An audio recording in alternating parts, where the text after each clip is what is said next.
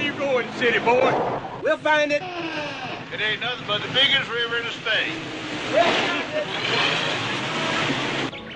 These are the men. Nothing very unusual about them.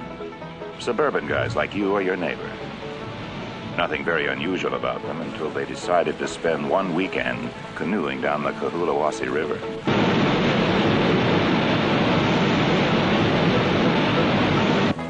Ed Gentry. He runs an art service. Wife Martha has a boy, Dean. Lewis Medlock has real estate interests. Talks about resettling in New Zealand or Uruguay. Drew Ballinger. He's sales supervisor for a soft drink company. Bobby Tripp, bachelor, insurance and mutual funds. Where you going? All right, I'm looking. These are the men who decided not to play golf that weekend. Instead, they sought the river.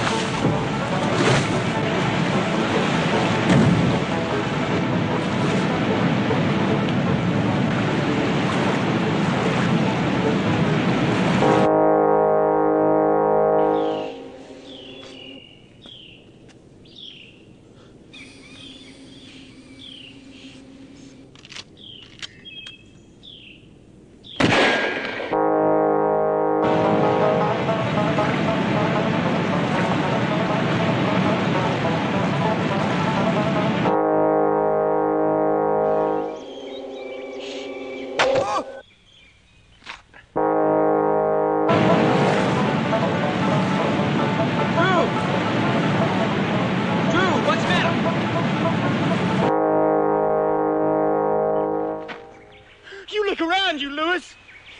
He could be out there anywhere, watching us right now. We ain't gonna be so nice hard to follow dragging a corpse.